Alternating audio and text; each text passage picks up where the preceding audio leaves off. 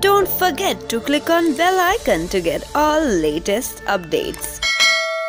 Bollywood actor Aamir Khan की खूबसूरत बेटी ईरा खान किसी स्टार से कम नहीं है। वो अक्सर अपनी तस्वीरों के चलते सुर्खियों में बनी रहती है। लेकिन अब इरा खान को लेकर बड़ी खबर सामने आई है। मिली जानकारी के अनुसार इरा खान बहुत ही जल्द निर्देशन क्षेत्र में अपना धमाकेदार डेब्यू करने वाली है। इस सुपरस्टार की बेटी के प्रोजेक्ट का प्रीमियर इसी साल होगा।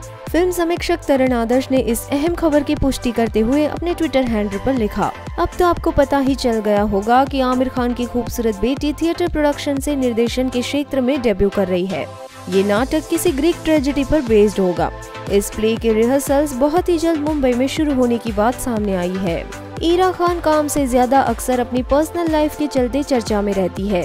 इस खबर की घोषणा से पहले हाल ही में ईरा खान ने खुद एक तस्वीर सोशल मीडिया पर शेयर की थी, जिसमें वो रोमांटिक अंदाज में बॉयफ्रेंड मिशेल कृपलानी के साथ दिखाई दी थी। Bureau report Indian film history for more interesting and updated Bollywood news please subscribe Indian film history YouTube channel